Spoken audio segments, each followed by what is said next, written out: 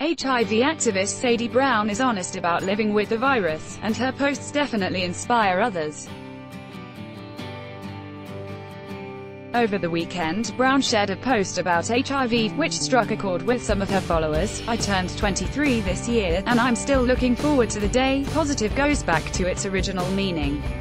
HIV is life-changing but it should never be life-limiting. She captioned a photo of herself on her birthday. The post inspired other South Africans, who praised her for her honesty and courage. Michelle Michelle wrote, You are such an inspiration at Sadie underscore Brown and thanks God for allowing people like you in our lives even though I'm twice your age.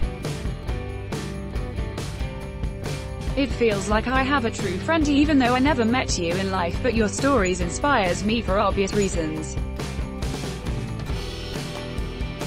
Keep the candle burning SCSI, Brown was born with the virus, but she only found out about her HIV status when she was 14 years old.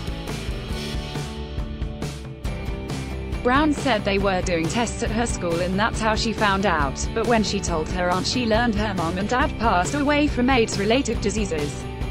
Take a look at Brown's story below, earlier reported that the World Health Organization, WHO's Director General, He also commended her successful collaboration with WHO Nigeria in the organization and hosting of a Walk the Talk Challenge for Non-Communicable Diseases event in Abuja. Mom's blog EP3, Does a Mom Have Weekends? NAIJ.com TV. Source.